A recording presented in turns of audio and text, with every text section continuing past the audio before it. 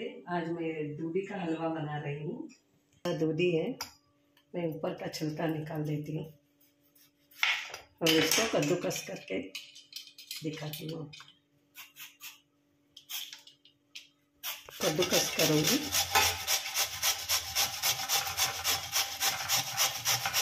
इसमें बीज नहीं होना चाहिए। रहेगा तो निकाल देने का। मैं।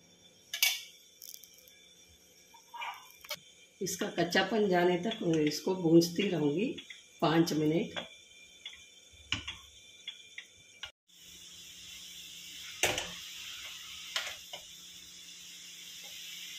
गैस को मीडियम रखी हूँ, बाद में एकदम धीमा करूँगी। कच्चापन निकल गया है, अभी दूध डाल रही हूँ।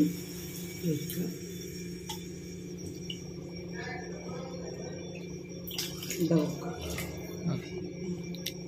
दो कप बस हो जाएगा। ये धीमी आँच पे पकता रहेगा। मिर्ची चलाते रहने का है, नहीं तो नीचे जल जाता है। ये गाढ़ा वाला मैंने दूध डाली हूँ इसमें। कभी कभी फट जाता है। इसके लिए मैं थोड़ा शक्कर डालती हूँ।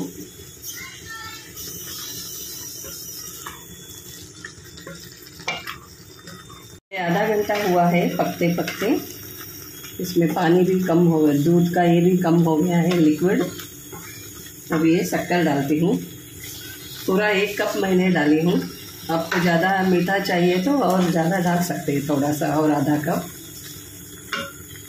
थोड़ा सा कलर डाल रही हूँ। वो भी आपको पसंद है तो डालने का, नहीं तो नहीं डालने का।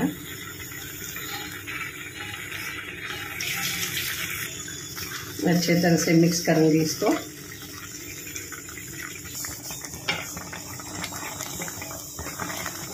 और पकाना है इसको। दस पंद्रह मिनट लगेगा। पाउडर डाल रही हूँ।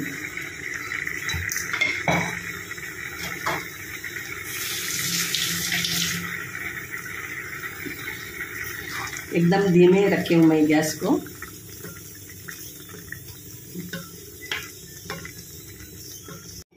घी गरम करने को रखी हूँ एक चम्मच, उसमें ड्राई फ्रूट डाल रही हूँ। काजू है, बादाम है, पिस्ता है और चारोली है। सब थोड़ा थोड़ा लिया है मैंने।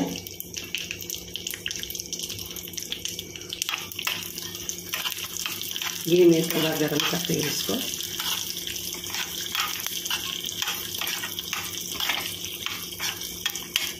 जब वो हलवा तैयार होएगा तो अब मैं डालती हूँ इसको हलवे में।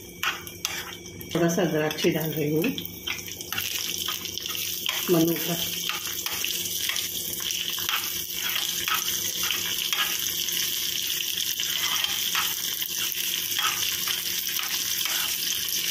हो गया है, गैस बंद करूँगी। तैयार है। आधा मैं ड्राई फ्रूट्स अभी डाल रही हूँ, आधा मैं ऊपर से डालूँगी। आप भी ट्राई कीजिए, एकदम स्वादिष्ट हलवा बनता है।